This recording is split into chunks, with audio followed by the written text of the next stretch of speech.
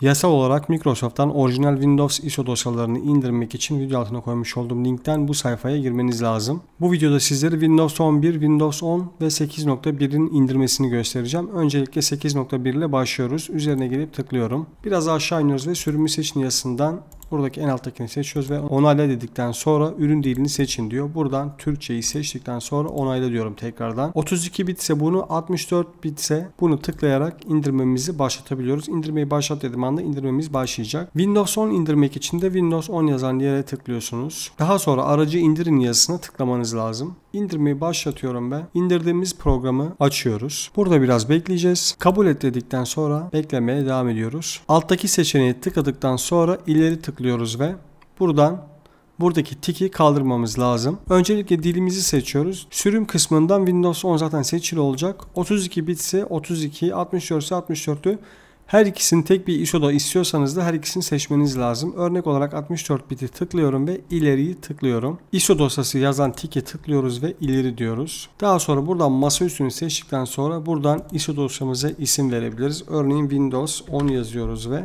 kaydet diyoruz. İndirme hızınıza göre burada Windows 10 ISO dosyası masa üstüne gelmiş olacaktır. Windows 11 indirmek için de Windows 11 yazan yere tıkladıktan sonra biraz aşağı doğru iniyoruz ve Windows 11 disk görüntüsü ISO indirme yazan yerin altındaki kutucuğa tıklıyoruz ve buradan Windows 11'i seçiyoruz. Daha sonra indir sekmesine tıklıyoruz. Buradan tekrardan dilimizi seçmemiz lazım. Türkçe seçtikten sonra onayla diyoruz. Buradan direkt olarak 64 bit indir yazan yere tıkladıktan sonra indirmemizi başlatıyoruz.